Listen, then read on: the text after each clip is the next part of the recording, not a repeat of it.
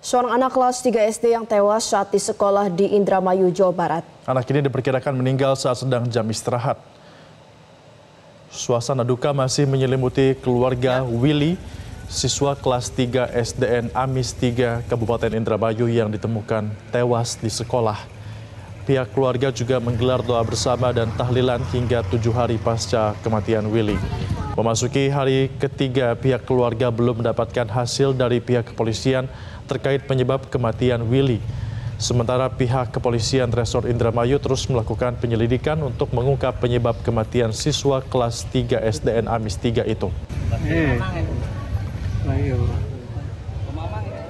Sebelumnya pemirsa Willy ditemukan pihak sekolah dalam kondisi tergeletak pada Jumat 2 Agustus yang lalu. Pihak sekolah langsung membawa ke puskesmas terdekat karena minimnya sarana untuk menangani pasien, Willy langsung dirujuk ke RSUD Indramayu. Namun di tengah perjalanan korban menghembuskan nafas terakhirnya.